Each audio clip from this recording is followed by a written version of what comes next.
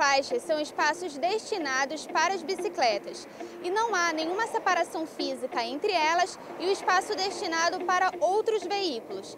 É por isso que nós viemos aqui na ciclofaixa da Ponta Negra para saber se os ciclistas realmente se sentem seguros nesse espaço. A maioria não respeita não, é muito raro. Vendo caminhões e ônibus vem em cima mesmo, várias vezes já caí, ninguém para. A percepção do movimento Pedala Manaus é de que há uma omissão muito grande do poder público com relação à comunicação à população a respeito do que está na lei. Para alguns motoristas, o que complica a situação é a diminuição da pista. No caso do governo, da prefeitura, no caso que mexe com essa situação, eles deveriam acrescentar.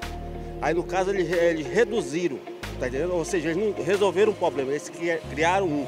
Com as eleições se aproximando, o Pedala Manaus garante que vai cobrar os candidatos. Todos os anos, o Pedala Manaus busca, junto aos candidatos, seja ao poder é, executivo ou legislativo estadual, como do municipal, entender o que, que se passa nos planos de governo desses candidatos.